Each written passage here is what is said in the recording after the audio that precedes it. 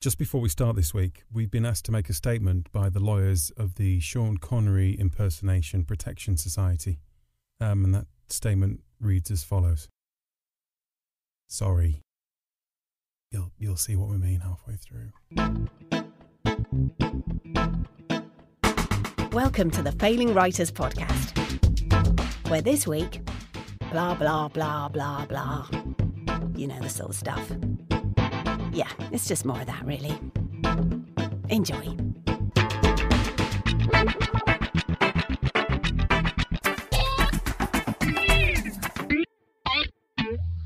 Oh well, hello everybody. Hey, how you doing? you Uh, all right? Got a bit of a cough, John. Yeah, I heard you got a bit of a cold, Another mate. Cold. Oh, I just can't get can't get No, well. I've.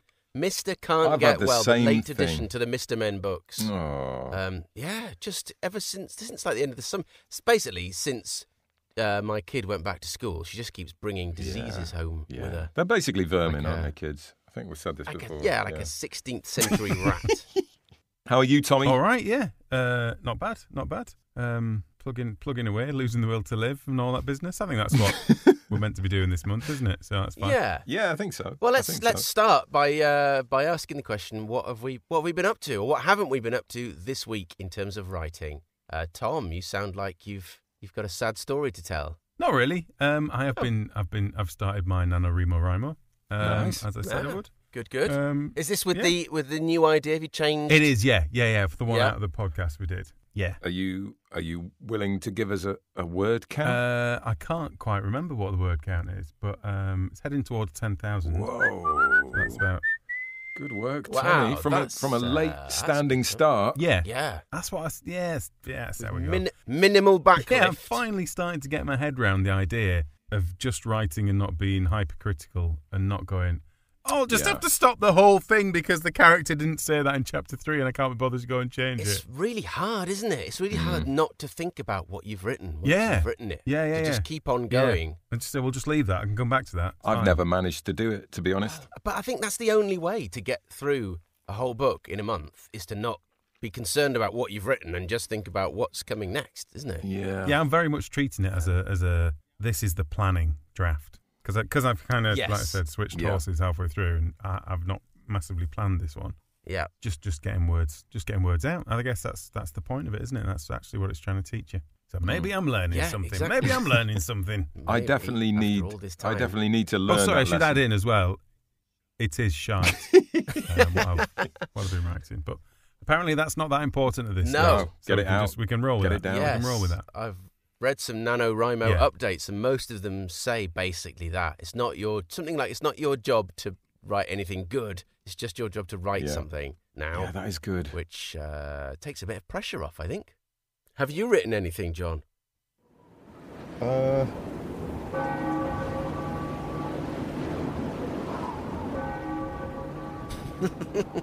uh, no, still not written a single word. But yeah, no, I'm excited. I am excited about starting writing. I just, I literally haven't had a chance. Ah. So, uh, but I will. I will. Good. I'll just be a bit later in the day. So sorry, no news. No well, news. they say that no news is good news, but on this occasion, really not, is it? No news is Not meh, indifferent news. Yeah. Yeah, there you go. What about you, David? Uh, still going strong. Yeah. Um, oh, nice. think I'm What we on? 15, 16, 17,000 words ish, I think, something like Bloody that. hell, it's Oh, going up oh, mate. quick, Dave. I know, I'm writing it as I stand here saying these words. So that's like nearly a third of a book you've got Yeah. smashed well, I out had, already. I had a moment so- yesterday where I started to think, hang on, I'm sort of nearly halfway through the plan, but I'm not nearly halfway through the amount of words. And then I started worrying that I hadn't got enough chapters and whether I needed to replan it and add some more chapters in. And then I, like you, Tom, I had to sort of say, no, don't worry about that. Just, Mm. Just the th- keep yeah, going. yeah, you just do. You keep have to plodding Tell on. yourself off and go, that's not for Yeah. now. Yes. You work That's that out later. draft. figure that out later on. Um, so, but I Mm. did Yeah. ta- take a little bit of time out this morning to write uh, a log line in the hope that that would help to keep focused. Oh, I thought you Um, did. I thought you'd done one No, I'd thought for about the one. Uh, for the blog. Didn't you do one for the blog that we wrote? No. Oh, Oh, no. Ah, no. I- But I just threw some words uh, at a piece of paper for the blog. because it had to be done Okay, that's different. But I Yeah, yeah. actually, yeah. did a proper log line. Um, I see. Well I think. done. So I think that's helping to like really focus it down and and keep it going. Yeah, yeah. But yeah, it's going well. I'm still enjoying it. You're Just, doing what? You're um, enjoying oh, it. That's great news. I'm enjoying it. I am actually enjoying it. I keep I keep sort of suddenly having ideas and having to rush upstairs and like write stuff out and yeah, Oh, mate. plan for the day. That's the dream. It is. This is. I keep thinking, why haven't? Why didn't I do this twenty years ago? yeah, but um, but yeah, really, I'm actually enjoying putting words on Mm, a page. That's great. Well, So- they, it sounds like the kind of book that people would actually buy. So that's you know that's got to be a good thing. yeah. There's Yeah. quite a lot of uh, quite a lot of profanity in it, but I think that's fine. I that's a good thing. Yeah, yeah. They're sort of That's you know, all right. hard as nails South Yorkshire coppers. They're gonna they're gonna swear every now and then, aren't they? So- Yeah, of course they are.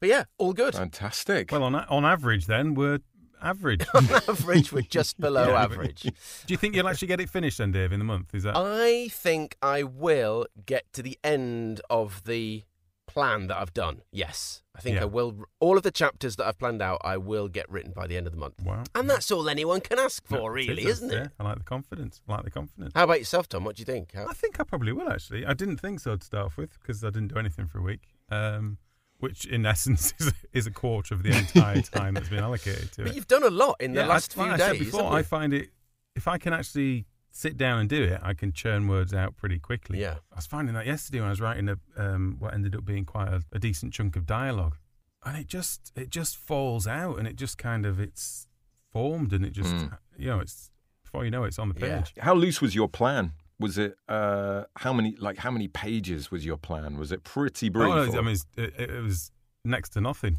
Yeah, it was more just a, a couple of beats Yeah. rather than rather than any flesh on it, Mm. really. But that's fine because it gives you something to navigate towards. Yeah. Ish. Yeah. So you're not just rambling. Mhm. A, a lot of it is getting over that psychology of, of not worrying that you've mentioned a character in the second chapter that's never come up again. yeah, That was meant to be your main character's best friend, but it Yeah, doesn't matter because you just get rid of it. Doesn't there. matter. True. Yeah, Rather exactly. than, rather than going, oh, I should make them do something else. I'll, I'll go back and change that. That could be some. No, what? what? This is actually great that I'm not doing it as well because I'm learning from you two while you do it, and uh, I'm getting all the top tips. And then How- come yeah, December, you'll be like a, you'll be yeah, streamlined and, and just this is really yeah, good. yeah. which is good because you're gonna have to get it done like in two weeks Yeah. because then Christmas starts and Yeah. stuff. You're not gonna miss Yeah, that. yeah. So.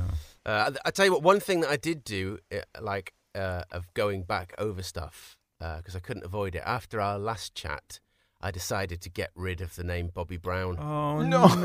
As- as a Oh, character. mate. Yeah, it Oh, just, he was uh, my felt- favourite. What then Michael So, Jackson Bobby- or Uh, no, um, Dom, what? Dominic Brown. Dom Brown is good. I like Dom that. Brown's, yeah. Yeah, that is good.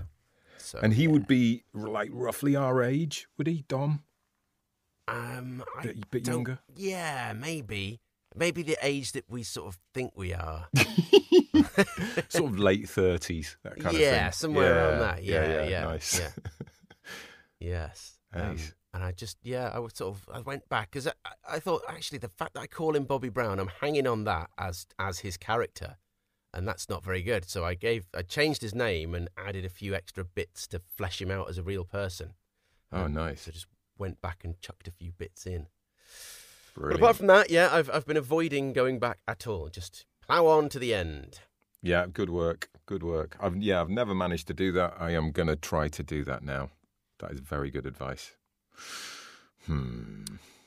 But enough of what we've been writing. What have other people been writing this year? And how have they been getting it out there? You talking? You just talk, are you talking We're to yourself about again, to Dave? find You out. all right? I am, yeah. Dave's doing that. So yeah, so um, we're about to find out from an actual published author by the name of Tim Glister. John, John, I'm tempted just not to say anything else and just let Dave fumble his way to the end of this segue because it's getting quite entertaining. Just keep going. how many questions he can ask himself and how far he can just. Uh, Well, there is something of a mystery, isn't it? We don't really know what is what his profession, what his real profession is. I think there's more than meets the eye to Mr. Tim Glister, as we will, as you will find out as you listen to this interview. But hang on, chaps. Or should I, should I not interrupt? carry Carry on. on. Carry No, on, inter- please interrupt. I think yeah, I think everyone listening That's is just something. saying No, yes, interrupt. I'm getting that. I'm getting that feeling from the audience. Please interrupt. Someone jump in. Hang on, before we talk, before we talk to Tim, um, inspired by our chat with him and and uh, and also the recent buzz about James Bond and stuff, I've um, I've actually written a theme tune for the next Bond film, Oh, and I'm hoping that like maybe it'll get used. And that will launch my music career because I know a few artists have tried that in the past. Yeah. They'll like write a, they'll write a speculative song in the hope that it gets used, you know, for the next Bond film. did well for Shirley Bassey. Exactly. So that's what Yeah. I've done, and um, because there's there's like a there's like a formula, isn't there, to um, to Bond movie titles? I'm Yeah. sort of pinning my hopes on them calling the next film "Golden Spies Never Die with Love," because if they don't call it that, then my song is less likely to get used. But oh, anyway, Yeah. do you want to hear it? Yeah. i Love to hear it. And after afterwards, will you will you tell me honestly what you think my chances are that it Yeah. will get chosen Yeah. for the Yeah. yeah, franchise? I, I- well, tell you honestly what your chances are, assuming that they do go with that title. I wrote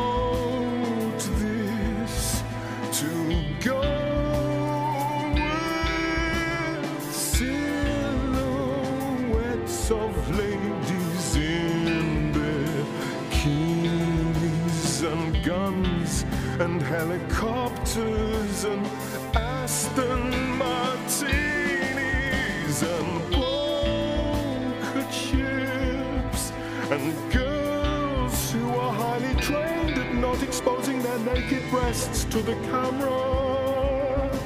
And more guns and stuff, and men in trunks looking buff, because 27 Bond films clearly aren't enough. This is for the next one. Golden Spies will never die. With love.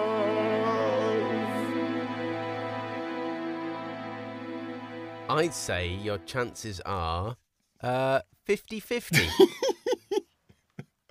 I mean, either it Yeah. will or it won't. Yeah?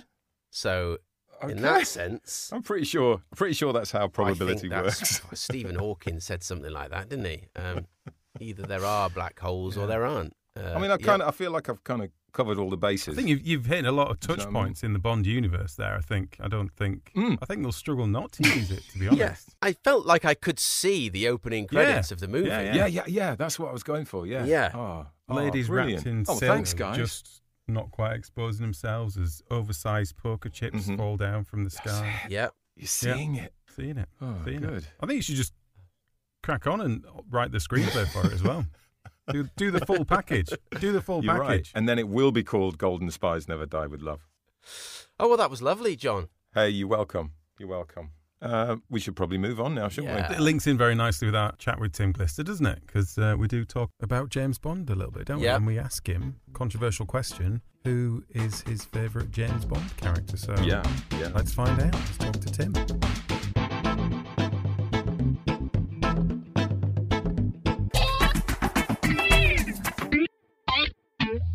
So, welcome to the pod, Mr. Tim Glister. Hello, Tim. Hello, Tim. thank you for having me. Well, thank you for coming on. We always, I mean, we've said it an awful lot if you've listened to any of the podcasts, but um, thanks for being daft enough to come on a podcast called the Failing Writers Podcast. I mean, you approached me shortly after the paperback came out, and I was like, "Oh, That's okay a then." sh- short career. uh, but no, I, it's you know, it it's it sounded like a really kind of a, a fun way of talking about it because I think particularly for for those of us writers in the early stages of, of our career, um, it's something you're thinking about quite a yeah. lot. Maybe it does, maybe it does. But um, your first book seems to have been quite a success, quite well received. Yeah, so um, so Red Corona, uh, Yeah. name of the novel, the best titled novel of the year, and and I think that that partly goes into into part of the thinking about kind of what it's like to be a debut writer because I'm in I'm in a relatively unique position with my novel. Um, a lot of people obviously went through that kind of 2020 experience Yeah, of having yeah. things pushed and and changed um, or delayed, we had we had a particularly big issue that we needed to grapple with on our on our road to publication. Yes. Yeah. So uh, what? So what came first then? Well, the the novel, uh, well, actually, the novel used to be when I first wrote it was just called Corona. right. It's, it's it's inspired by the American Corona satellite program. The novel itself is is a blend of fiction set in a factual environment. So it's it's the story of Richard Knox, who is an MI5 agent who's kind of on his uppers um, and believes that his way back into the service and its good graces is to uncover a mole working at the highest level of the security service. And as he's doing this, the American Corona satellite program is also being developed and launched. And this is this kind of fantastical, almost sci-fi, almost Bond-esque piece of global surveillance technology that was being launched in the early 60s. Yeah. That was where the inspiration for the novel came from, really, when I discovered the Corona satellite. And then I kind of built the narrative in my head over the years, got it all kind of like squared away, went went through my kind of journey to finding an agent, finding a publisher, uh, getting a pub date, getting a jacket, and then obviously we we hit spring 2020 Yes. and as i like to say this this funny word um that that was you know felt a little bit Icarus, a little bit Odessa, uh, suddenly took on a completely new meaning. Yeah. Yeah, it did a little bit. Yeah. Was that you know the whole because that sounds like a completely classic sort of spy espionage sort of thing. Has that been was that you growing up in terms of the stuff you were reading and like getting excited about? Were you a, a massive James Bond fan? What was the Yeah, I was I was a huge James Bond fan um, growing up. I mean, the really flippant joke I say is that I kind of ran out of Bond novels to read, so I just wrote one.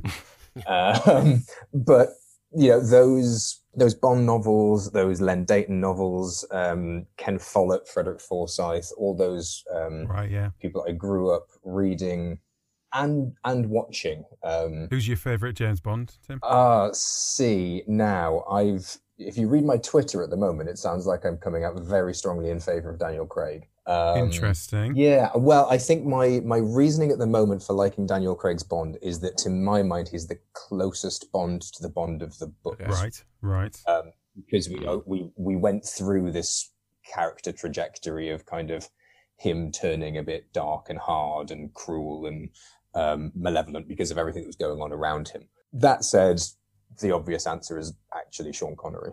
Right. Um, you know, you, you're not you're not going to do much better than Russia with Love and Goldfinger, really. Yeah. Am I weird? Because I, I actually really like Timothy Oh, Dalton. I think you I are like- weird, Tom, Oh. but I don't think it's because you like No, Timothy not because of Dalton that. necessarily. Yeah. Just out of interest, Tom, have you rewatched them? uh, no, I haven't. Yeah, don't don't do that because it will ruin them forever. Why? Why have they, have they not dated? Yeah. In what sense? In the No. misogynistic way, or special effects, or Yeah.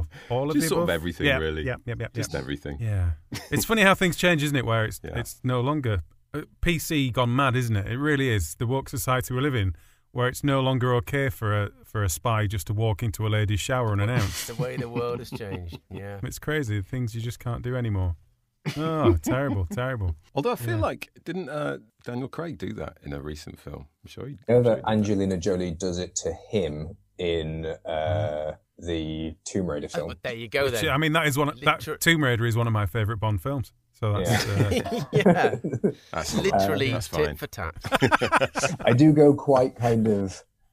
I, I'm very broad in my kind of reading and watching taste, so yeah, I'll I'll I'll take on everything from Tinker Tailor Soldier Spy or The Night Manager right through to yeah, yeah. you know Tomb Raider or even the Red series, which I think are kind of like a, a super fun guilty guilty pleasure. Old people can be spies too. Um, couple Yes. of couple of films. So I'm, I'm guessing it was the reading of those books that kind of made you feel like you were qualified to write a spy novel. Because I was thinking, you know, you've you obviously you spent your career, uh, I think, mostly working in advertising and as a literary agent. But the the leap to a to writing spy novels seemed quite big, and there was a period where I was thinking, well, you're clearly just a spy, aren't you? um, And, and this, to be honest, do tell Tim, this is a spy. this this is an opportunity for you to just admit it, just come out and just say, you know, because it just it just doesn't wash for me the whole. Well, my my uh, working in my advertising theory thing. has always been that the best cover for being a spy is telling people you're a spy because it's so. Oh, he's doubled. He's gone double down on us now, and it hurts my head. See, I told you he was clever. Yeah. Yeah. Uh, Do you do you, do you own a Macintosh coat? I do, and I Just out of interest. and I may have bought it in East Berlin. Come on, Tim. Now. Okay, well that There's dropping clues. That, uh, Actually, I think that I- clears actually- it up. The funny That thing about that clears is, up. I didn't buy it in East Berlin. I got someone else to buy it in East Berlin, carry it across the border, and then give it to me. Oh, so it couldn't be you traced. Things you learn, isn't it? The trade. Yeah. It's the Well, I just didn't have room in my luggage for it, really. So was this was this novel bouncing around your head for years and years? Then was it was it the classic first novel of being in your head for It, ages? it had. I'd actually started. So when I when I left publishing um, and moved into advertising, I started. Well, I, I did a. Uh, I did one of those Guardian weekend courses in script writing Oh right, yeah. because I thought I'm, I might need to write radio ads or TV ads, and I don't know how to write dialogue. So I started doing that, and from that, I started writing a few scripts in my spare time, and they all kind of had a little bit of a a spy or a thriller or a kind of puzzle element. Are to these screenplays? Or, Oh, so this was books or- screenplays. Right. So I started doing that, and I wrote a couple. They did, you know, they did okay in those kind of Mm, screenplay mm. competitions, and then I always had something about the Corona satellite ticking away in the back of my head. And then when I started to kind of knit a story together, it was the first one that I come up with that I thought, I think this needs more building, more development, more work, more words, effectively, um, Yeah. than I could get in a script. Or at least if I was going to end up writing a script, I'd need to write the novel first. And that's so that's that's where it finally came from. Um, I did have to overcome quite a bit of nerves because I'd I'd worked for the agency that represented Charles Cumming and Henry Porter and uh, Elly Griffiths and you know kind of the current like titans of of English fiction. Um, so for me to kind of have the gall to write something myself took a bit of effort and and involved keeping it secret for most Yeah. of the time that I was doing it. Yeah. the the uh, the whole idea of the corona i mean it's such a gift isn't it it's the i always think of that that period in the 60s as being a sort of heyday for espionage stories the 50s and 60s you've got the cold war and the space race can you kind of set the scene for us Yes. for the story So um, the Corona satellite w- will kick off with that was developed by NASA and the CIA in the late fifties. It was the first ever attempt to create something that could give a superpower kind of full global um, surveillance coverage. So this isn't the Hmm. Stasi. This isn't kind of human intelligence, people on the street. It's technology yeah it was the most advanced thing that had been created for that purpose on the planet. However, because it was still the late 50s, early 60s, um, there were kind of interesting technological limitations, we'd say now. Uh, the prime one being that we hadn't worked out how to um, pierce the Earth's atmosphere Mm. with heavy data signals. We didn't we didn't have digital communications at that point. We were just Mm. using radio waves. And that meant that the satellites would blast off up into orbit. Sometimes they would make it, quite often they exploded. Um, and the satellites would be positioned over whatever target you wanted to take a photo of. It would then take a photo of it, a very high resolution photo, but the photo was on film reel. And it what would Hmm. then send it to Jessops to get it developed. Effectively, effectively, what the, what they had to do was then put this roll of film in a little canister, drop it out the back of the satellite, have it parachute down over the Pacific, um, and then send a giant Hercules transport plane um, with a big hook hanging out the back of its cargo bay door to try and grab it to try and grab it out of the air. It is like a it- needle in a haystack image, isn't it? Finding a roll of film in the Pacific Ocean. Yeah, it feels like if you were the guy at the cia who had that idea the people around the table would just laugh and then carry on with their day Do you know? yeah and also what, what's fascinating about it is that and this is something that kind of goes in the book but also just about kind of the, the history of the technology is the next step change comes quite soon after. Yeah. Yeah. But, and this is on both sides of the Iron Curtain, the Corona satellites were still used by America into the 70s, and the Soviets had their own version, uh, the Zenit satellite, which obviously was kind of bulkier and more Soviet looking.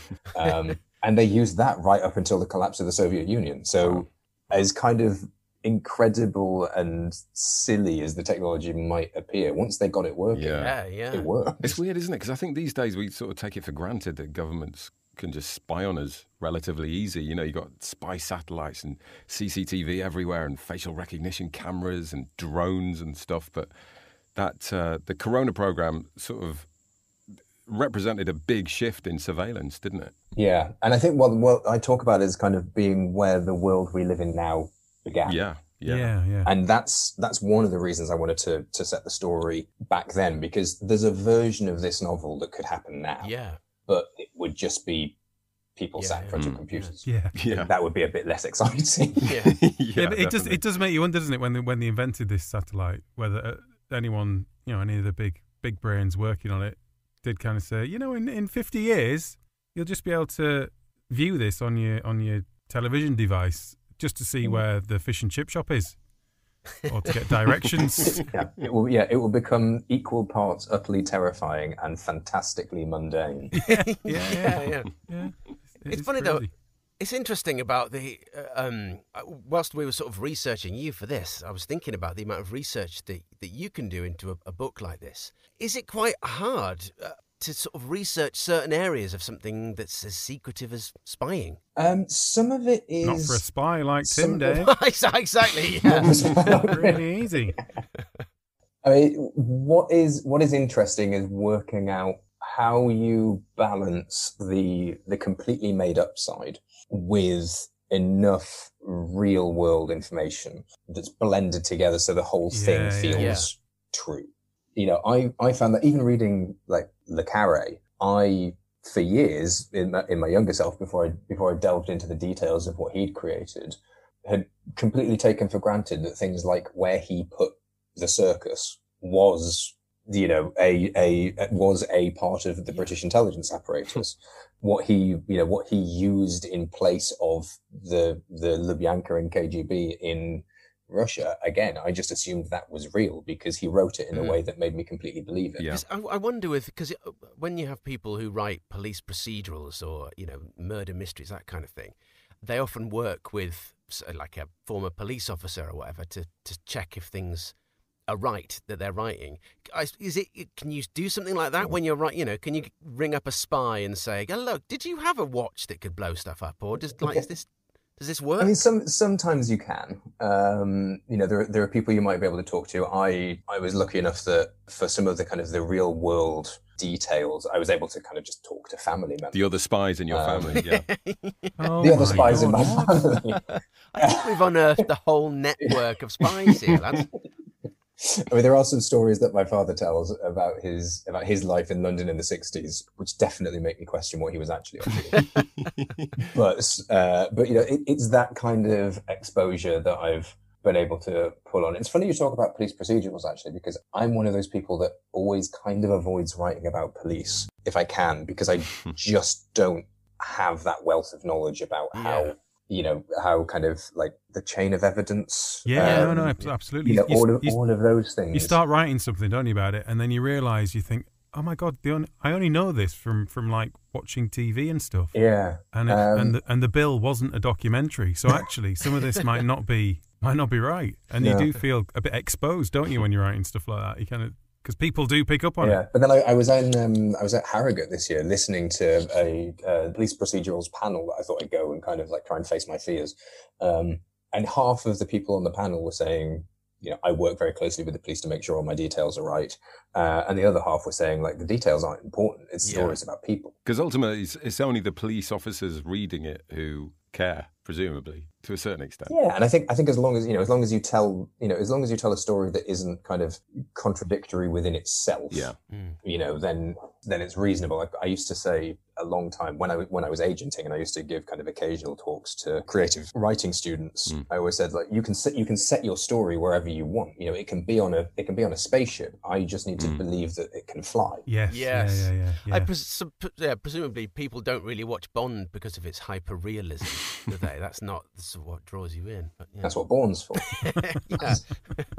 no, and I was just going to say about you know um, our only experiences is sort of watching spy thrillers and reading the books, and it always seems that for all the sort of different training and techniques and gizmos uh, that they have, the success of most operations seems to at some point it always hinges on luck. So how do you make sure that your sort of plot devices remain uh, credulous? I suppose. So I'm definitely a plot first writer. yeah. and I think that particularly is true in well, it could be it could be any kind of genre fiction, but but the, the genre fiction that that is, is almost you know you've you've set up a problem that you have to solve, um, so you kind of have to know how to solve it. In fact, the, the very first ever piece of writing advice I got was from a scriptwriter who said, "Know your ending," Yeah. Mm. and that's one that's a lesson I've always always taken to heart. I don't think it's always the case with every form of storytelling. I think there are, you know, if we if you're looking at the more literary end or the less kind of, you know, puzzle or crime and solution based novel, it is easier to kind of create these characters and then see where they take you and go along for the ride with them because that's the Yeah. fun of that story. Um, but for me, it's certainly, you know, making sure that I have you know you you you draw the straightest line of your plot as you can and then you start to kind of overlay the red hmm. herrings and the additional plots and the things that might be important but then fade and then do that. So it feels structurally like it would be entertaining enough.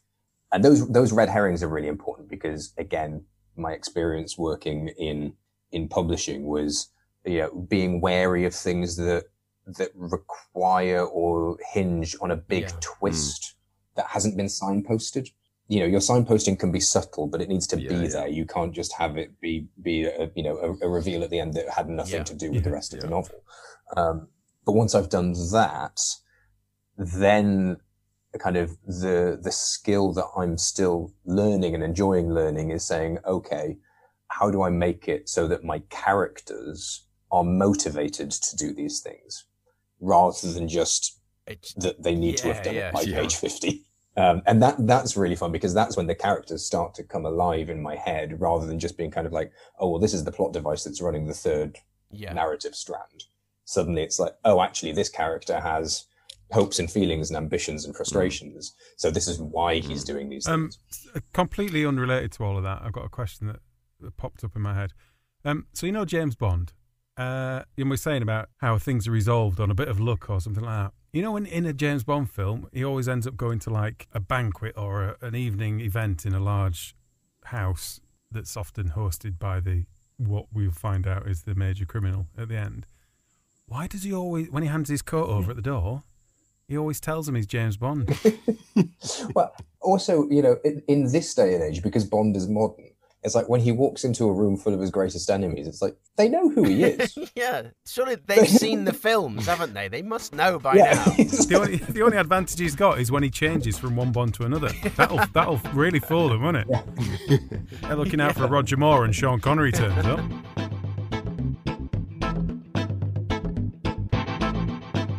You're listening to the Failing Writers podcast, which guarantees to always leave you shaken and not stirred into action. Do you get it? Stirred into action to actually write something. It's a clever play on words. Super. Carry on as you were. It's not going to get any better.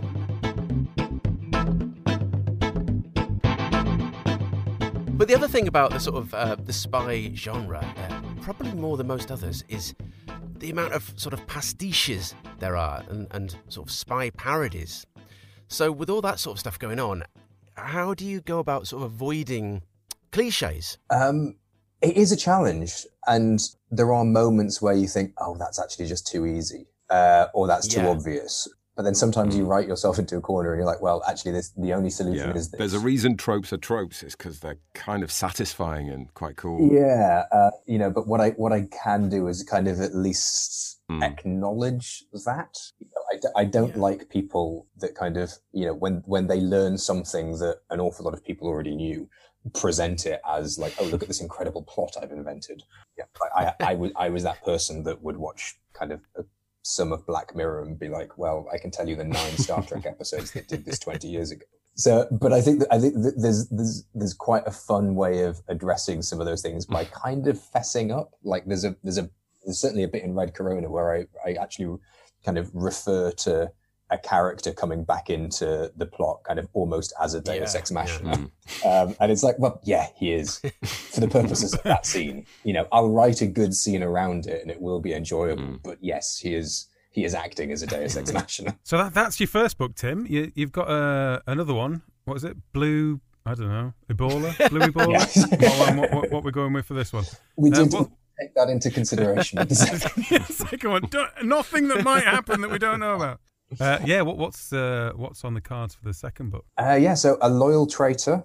Uh, oh, nice title. Thank you, thank you. It felt kind of quite Le Carre esque. Mm. yeah, that is a great title. I was quite, I was quite pleased with it. I mean, of course, we'll now wait for you know Boris Johnson to sell the nuclear codes to someone Yeah. um, and make it come true. Uh, Did, was that was that uh, one of those that title just jump out at you? Has that been the working title, or was that a hard fought? Uh, that was no, that came quite late. I I had Right, a okay. title that was that was different. It was called Double Star, um, right.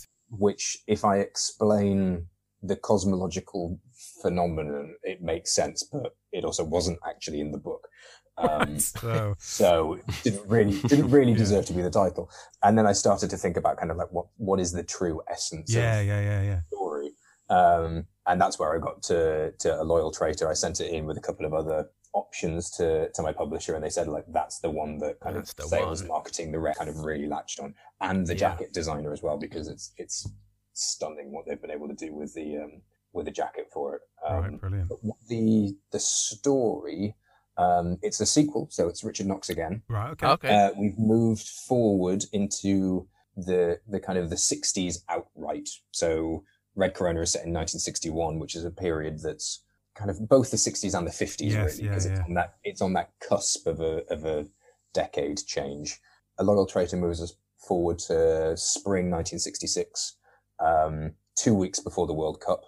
So I didn't have to write about that because I wasn't sure how I could make it relevant um, to a spy novel. the TV Um, was switched the- off. Yeah. Uh, and what it does is is it revisits Knox and a couple of the other characters from Red Corona um, in this period where the Cold War has kind of become a war of attrition. All of these cold warriors and spies who were incredibly patriotic and ambitious and understood what they were fighting for in 1961 are now five years down the line and nothing really has Yeah. changed. Mm. So they're starting to question their kind of their role and what what they're achieving. And what I then introduce is a kind of a bigger, more personal cause for Knox to to grapple with and look at how that pulls him between his you know his his duty to his country and his honor to his friends. Mm. And what stage? What stage are you at with that book? That's completely finished, or you- That's completely finished. Uh, we got bound proofs last week, uh, which is really exciting. Comes out February the 10th in hardback. great? and I'm currently actually uh, starting to crack on with book three. Oh, wonderful. So, can you tell us a bit about the actual writing of the book, Tim? Like the process? Sorry, of uh, Red Corona. Uh, because I'm guessing you were were you working at the same time, or did you give up work and then start Oh, writing? Uh, no, uh, no, I, I still work. I still work full time. Um, Red Corona was very much a to begin with an evening and weekends secret project. You know, I'd wake up early on a Sunday so my housemates didn't know Right. that kind of thing. Take myself off to a cafe. It was handwritten to begin Oh, wow. with, and then typed up, which I told myself was a way of kind of giving myself a little secret extra edit. Yeah, yeah. So by the Yeah. time I was actually typing it up, I was kind of rereading a paragraph and going like, Yeah, "No, that's a bit yeah. clunky. You know, let me fix that." Or I've used that word a page earlier. So first, um, the first draft. How long did that take you? uh, that was oh, about eight months. right. and as as I said, I it's one of the things that that freaks me out now being an author active on social media is where you see all these writers who have what seems like all the time in the world and they blow through a first draft in a couple of weeks or a couple of months and i'm like sometimes i sometimes i can't write anything Bastards. a week because of work and life you know or mm. sometimes i'll have a great month where i can write 10,000 words and that seems like an incredibly Yeah, it takes me a week to write a shopping list, so it's, that's pretty Yeah, impressive. and I think what part of part of the thing I learned over the course of it was not to be too stressed about that. Yeah. You know, just writing writing when you can. Um, one of the good things with my day job, which is, is in advertising, and I'm primarily a copywriter by trade, it's that I don't kind of get the luxury of writer's block or sitting in my feelings too much because yeah, you know, on a Wednesday I might not want to do something, but I still have to do it because the client's paying. So you're quite well disciplined. Yeah, and I can apply that mentality mentality to myself. Remember, if you're enjoying the podcast, I mean, even if you're just barely tolerating it, please recommend it to your friends. So after that point, Tim, so you finished writing the book. Um, how long from that point to getting it published? What was the what was the journey after that? Uh, so wrote the book. Uh, was lucky enough to get interest from my agent Gordon Wise at Curtis Brown, who's you a powerhouse working for a powerhouse. He helped me with you know, with again a fresh round of editing and polishing. We then went out to publishers. Ended up with uh, Point Blank, which is the the crime and thriller imprint at Oneworld. They're a fantastic kind of independent publisher that does really interesting things. So I was really really excited to to get to work with them. Again, there was there was some editing uh, after that point. The funny thing is, obviously, you whenever you write a novel, you always get to that point where it's like, this is it. This is the best version it can be. Uh, I'm done until about three days later when something occurs to you. Yeah. So by the time I was getting to have editorial conversations about it with my editor, I already had a list of things that I knew I wanted to make better about it. And they aligned Yeah. with her list, which was fantastic. We were then all set to publish start of May 2020. Again, you know, it's a it's a novel that has modern resonances about Britain's place in the world. It's a novel that has modern resonances about kind of the abuse of personal data. Um, it was an American election year. Uh, we we it was going to be released directly halfway between the Black Widow movie and No Time to Die. Right. It all felt like it was lining up quite nicely. Yeah. Yeah. And then So that's just what you did. You just did that then, did you? That's what you went ahead and did. There's nothing else. yeah, no, that was it. of Yep, that was it. Following that, perfect. you know, and then and then of course, kind of the world stopped. Um, Yeah.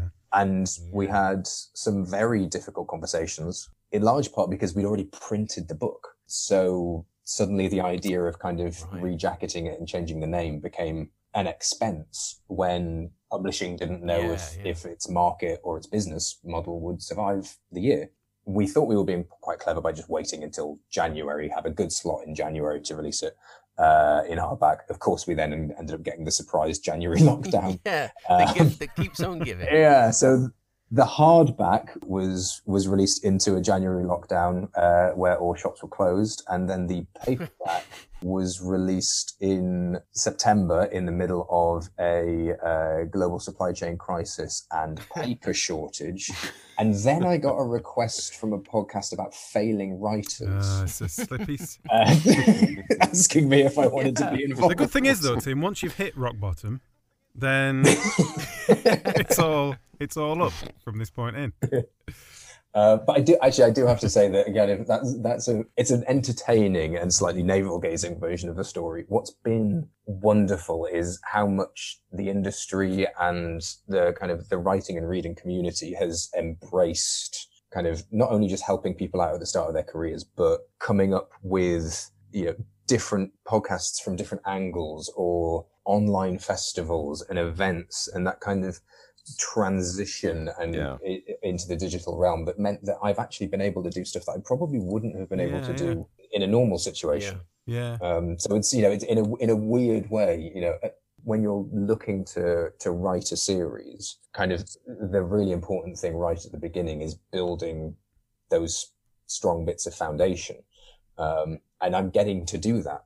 Um, you know, I'm Mm. getting it. I'm getting kind of some lovely reviews from kind of important people also some wonderful kind of responses from people that say, I would never normally have read this kind of book, but I Yes, go yeah, yeah, yeah. and loved it, which is Yeah. Yeah, you've got nice. some amazing reviews. and then being true. able to do things like online festivals Mm. and events um, and podcasts with you guys and blog pieces and you know stuff like that just so that you know again when when you google me you start to find more stuff That sounds like a happy ending, doesn't it? It does. But so, sorry, just going back a little bit. Speaking of that, googling you, I did. I did see that you worked with Cambridge Analytica for a spell, Oh, yeah. and I suspect you've signed a fairly hefty NDA. But did that experience give you any sort of insight into like how the corridors of power operate and the and the way that politics can get quite tasty? Did it did it sort of feed into the book in any way? yeah so i was i worked with well i i was hired by a company called scl in 2014 they just said they were you know a political communications agency Mm. like cool i've worked in tech i've worked in publishing i've never worked in politics it'll be something you know interesting to add to my cv for a bit Mm. um, the same way that I now kind of work in financial um, advertising. I like knowing how things work and what's going on Yeah. behind the scenes. Yeah. Um, so that always draws me to to any of my jobs, and also probably explains why I write what I write. SCL, after a couple of months of me working there, then kind of started to become Cambridge Analytica, and it was fascinating to to see it change and grow and shift from this company that was kind of on the marketing side, almost exclusively staffed by kind of wide-eyed centrist political science graduates Hmm. uh, and me. Uh, uh, and then, then kind of embrace this kind of really strong, dark right-wing edge, um, Mm. which meant that kind of everyone on the marketing side left over the course of a few months uh, when we all saw. Was that did that kind of come from the top? Was that a sort of leadership thing? Yeah, it was where they saw the money coming from. Yeah, yeah. You know, there was, there was always an attitude that they didn't mess with British politics, but everything else was kind of a game, and it really did feel like to them it was all a game. Mm. Um, Wow. What was then interesting was kind of three years down the line to see the the kind of the expose in 2018. Mm. You're like, God, I'm sure I remember being in meetings when they said we'd never do anything about Brexit, and then you suddenly, and then you suddenly find out that they were like all in. Mm. uh, but that you know that that kind of you know use abuse fear of what can be done with with a person's data um, definitely Yeah. kind of informed red corona but again i wanted to kind of go back to telling that story i also felt like i couldn't really tell a cambridge analytica story outright because Yeah. to your point yeah you'd think they'd me sign an nda um, but when i was working with them they were so charmingly useless at everything they did. That was almost why everyone was kind of happy to work there because we were taking someone's money but doing nothing of any consequence. Yeah. And then when you started to see them kind of get their acts together, that was when we all kind of realized it might be time to move on. Nice, fascinating. Yeah, very very odd period Yeah, in my life, but I think Yeah, definitely. definitely informed my writing Yeah. perspective. I just got one more question to ask you. I, I actually haven't read that many uh, spy novels. I've read a couple of Le Carre's, which I really enjoyed, to be fair. But do you do you have a favourite spy novel? If you were to recommend one to kind of get you into it, what would it be? So I, I mean the the easiest. right now, it seems very good. Don't say red corona. Don't say red corona. Don't say red corona. Right. Red corona. Oh no, Tim. Um, I'm just looking at my looking at my bookshelf, and I'm trying to think. I, am going to Okay, give you three fair. recommendations, Oh yeah. and I would say "Spy Who Came In from the Cold" by John le Carre is the prototype kind of grizzled, real Mm. world, bleak, but so clever. You you have to keep reading its spy novel. I think it might be his shortest novel. It's certainly the easiest one that I've been able to kind of wrap wrap, wrap my Mm. head around because he is very cerebral sometimes. On the Bond side, because there has to be one, um, it has to be from Russia with Love. You know, a Bond novel where Bond's not even in it for about eighty pages is a fantastic, you know, achievement to to tell that story, to give those extra perspectives, and it's and, you know, and it's a it's a classic Bond novel, so it's just Mm. entertaining um, and carries you along. Uh, and then the other one I'd suggest would be Our Man in Havana by Graham Greene, because it combines both of the things that make Le Carre and Fleming Mm. great with those two books, and then just adds this fantastic layer of satire on top of it. It's just it's a it's a clever spy novel in its own right. It's indictment of society at the time in its own right. It's also just so witty as well. Great recommendations. That's something to get into. There you go, Tom. Something And to in, read. ter- in terms of films, you say you say Austin Powers and Johnny English, yeah? Oh yeah, yeah, Yeah. Yeah. Cool. Cool. You take the books, lads. I'll take the films. Um, but yeah, thanks ever so much for coming on. Good luck with the second book. Oh my, thank and you it so sounds much. like you've even got a third in the in the brain there. Is that like you said, you're starting to work on the third already? Starting to work on it. Yep. Uh, not going to say how far I'm through because there's a deadline uh, yeah, no. that I don't want to get stuck to. Uh, yeah, Yeah. it's uh, it's it should be fun. I'm really excited about writing it. I'm really really kind of relieved that that three in I'm still enthusiastic. Yeah, yeah, it's still got legs and it's still. And this is another yeah. Knox book. Brilliant. Or can you? This yeah, this will be this will be another Knox, a slightly shorter uh, leap in time. This time, just moving to 1967, uh, but again with a with quite a major global political event as the backdrop, and then Knox kind of working his way behind the scenes. Thank you very much for coming on and talking to me. My pleasure. to us. Thanks for having me. Hope Cheers, to to Tim. you See you later. Cheers, Ed. Bye. Brilliant. Well, that was Tim Glister. Um, we'll put a link to his book Red Corona in the uh, in the show notes as well. Yep. So if you fancy a, a riveting 1960s spy novel, that would be a good one to choose, I think. It's got very, very good Yeah. reviews. Buy it now before it's classified. Do you know what uh, I thought was interesting? What he was saying about um, that it's set in 1961, and he said Hmm. that's kind of like it's still the 1950s and the 60s because he was saying about his sequel being set later in the 60s, and that was the 60s in 1966. 60 60s. And I was yeah. thinking that's so true of decades, isn't it? How we kind of put them in this slot of like the 80s, the 90s, Yeah, it's true. but there is that weird Yeah. overlapping in betweeny bit in each one, in each little era. Where you don't realise until you're out the other side that there's like a weird Yeah. you know, This was the that weird melting point of the 80s and 90s. Yeah. Where there were shell suits, which were very 90s, but they were kind of still in 80s colours. Like they're still really like, Mm. Yeah. before kind of It's the red and grey and black of the 90s came in. And sometimes- still- there's just that weird Yeah. in between Yeah. bit in between decades. The Stone Roses. Yeah, yeah, yeah. The emergence of Stephen Hendry with his long hair. Mm, Yeah. Yeah. A sign of what was to Yeah. come. I'm not sure we get we do we get decades still like in I terms don't of that? know. Or I is think- we I kind of think just that- mushed into a Yeah. continuous change rather I rather don't than think there's been one. There hasn't been one since uh, the 90s, has there? I think Not it's partly really. because the big events in the world, annoyingly, don't always like usefully end up falling on the actual end of the decade, do they? It's like things like Brexit or whatever. Well, you say that, but I remember No. mil- the Millennium celebrations doing that. That is true. That was quite that is almost true. exactly. That was quite a yeah. big one, though. Like that To was the second. the 90s, didn't they? yeah. And there Yeah. hasn't Yeah, yeah. You're right. That is the exception, Tom. there Right, hasn't okay. been a decade since, has there? So, yeah.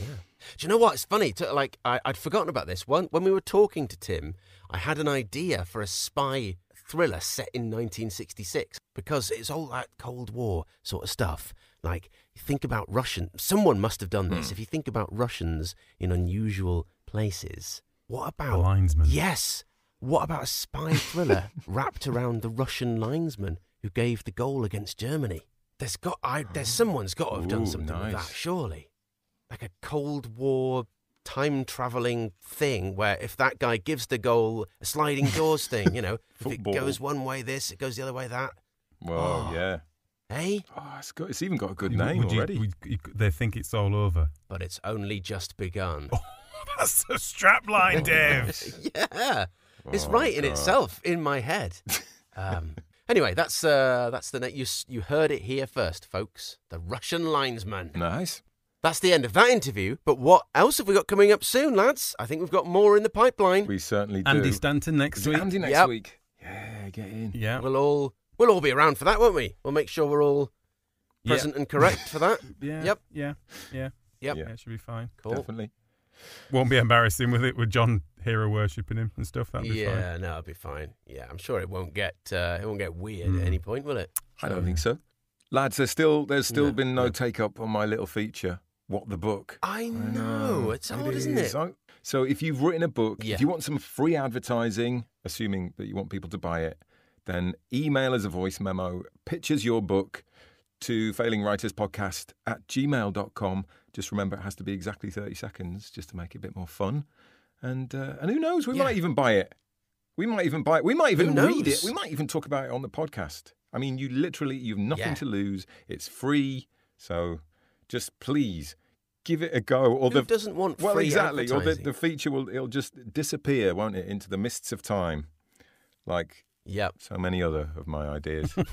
so, you know, it'd be nice for me. Send us your pitch. Give John this one thing, please. um, but yeah, uh, until next week, we should probably just say au revoir or toodaloo, Tatty bye. Whatever the Russian is for goodbye. That's That's the one. that's that's not. I don't. I'm sorry if I've said something really Yeah. rude in Yeah. Russian. That's yeah. That's probably probably inappropriate. Let's say goodbye.